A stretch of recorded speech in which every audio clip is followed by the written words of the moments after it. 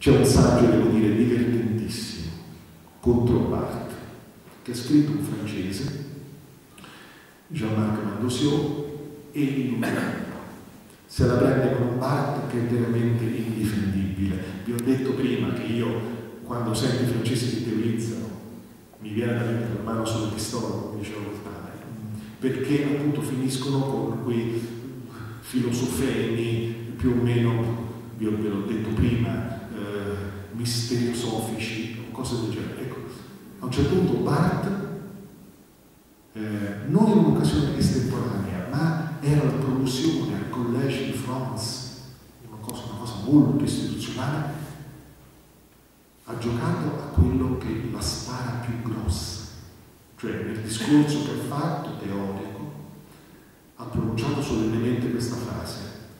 La lingua, cioè il linguaggio che noi adoperiamo, la lingua è fascista, terrificante.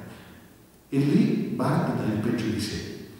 Perché per Barthes la lingua è fascista? Perché ci obbliga a dire. Vedete anche, no, un'apparenza di sottigliezza, che però è una stupidaggine colossale.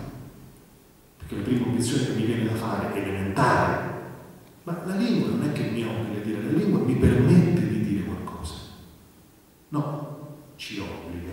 Con la gerarchia del soggetto, il predicato verbale, quindi è fascista la lingua, è autoritaria, terrificante.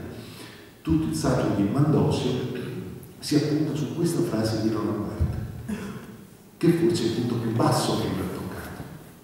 Ecco, però questo per farvi capire come, eh, ahimè, un certo tipo di eh, filosofia o teoria francese può, sì, può generare dei mostri